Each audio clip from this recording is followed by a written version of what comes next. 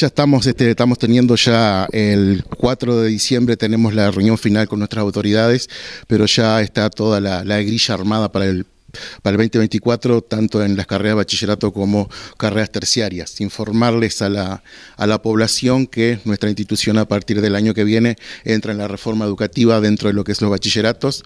Vamos a tener cuatro orientaciones para, para esa área que van a ser este, con sus nombres nuevos obviamente, pero van a ser la carrera de informática, la carrera de química industrial, carrera de electromecánica y la innovación para bachillerato, la carrera de robótica y automatización. Una carrera muy demandada por nuestros estudiantes y por nuestros jóvenes, donde este, por suerte nosotros tenemos lo que es un laboratorio Lab, donde ahí tenemos todo el equipamiento para, para dicha carrera.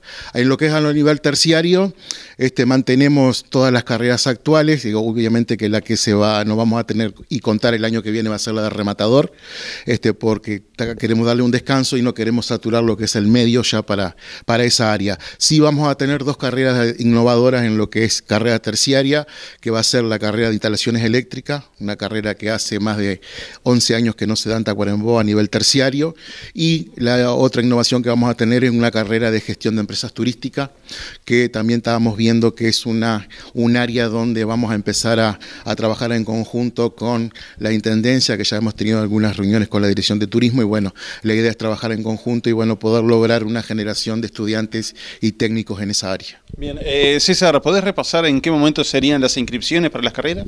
Las inscripciones aún no hay fecha oficial, pero normalmente comienzan a mediados de diciembre, por el 15, este, van a ser todas vía web. Este, lo único que tiene que hacer la población es agendarse en, en agendautu.com.edu.com y ahí ya se agendan para día y hora y en caso de bachillerato. Carreras terciarias, lo que se hace, va a haber un link donde se agendan, suben la documentación en plataforma virtual y en febrero pasan por acá a traer todo lo que es la, documentación personal y ya quedan inscritos.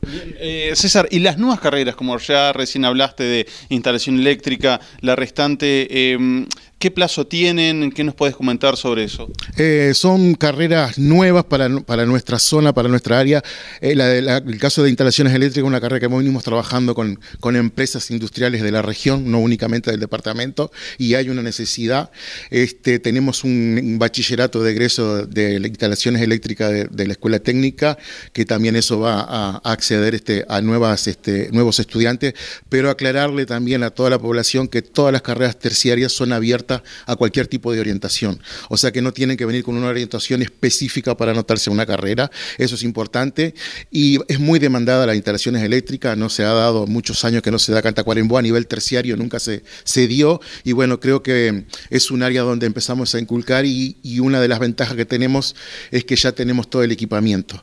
Este, lo único que hay unos cuantos docentes que ya están en su llamado de aspiraciones, hemos trabajado con los que son los, los coordinadores de la carrera en Montevideo y bueno, este, este, nuestra intención es bueno, tener una muy buena demanda y que los estudiantes obviamente tengan la, mejor inserción laboral posible y, lo antes posible, ¿no? ya que las empresas digo, nos están demandando esta. Y en cuanto a la de, la de turismo, bueno, creo que es un área que en Tacuarembó este, no se ha estado trabajando mucho, hubo un bachillerato en el 2010 y después no hemos tenido este, más nada en esa área y bueno, y creo que es el momento por todo lo que se nos viene, turismo rural, este, ecológico y demás, y bueno, este, hay un un buen proyecto ahí con la, con la dirección de turismo y bueno, un poco es la idea de trabajar en conjunto. Luego las otras carreras, las que tenemos siempre, este, forestal, logística, mantenimiento electromecánico industrial, gestión humana, eh, la carrera de biotecnología, este, también tenemos administración, marketing y este, la carrera del ingeniero prevencionista, que esa es semipresencial, que también una carrera muy demandada, pero esa tiene cupo y es por sorteo, ¿verdad? Eh, César, para finalizar,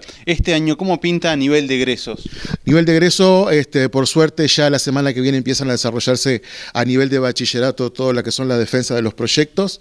Eh, egresan 10 eh, estudiantes en la carrera de química y egresan 12 en la carrera de electromecánica, bachillerato. Luego, en diciembre, tenemos toda la defensa de proyectos de las carreras terciarias.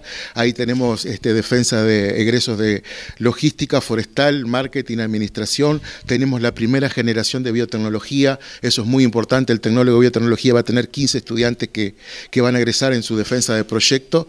Mantenimiento electromecánico también. O sea que tenemos prácticamente lógicamente que todas las carreras tienen egreso este año, obviamente que va a depender cada uno de su situación personal y de su defensa que van a hacer en el mes de diciembre. O sea que bueno, para nosotros una gran alegría, ¿verdad? Porque es un poco la, eh, la satisfacción del cierre de lo que es las generaciones cuando ellos egresan.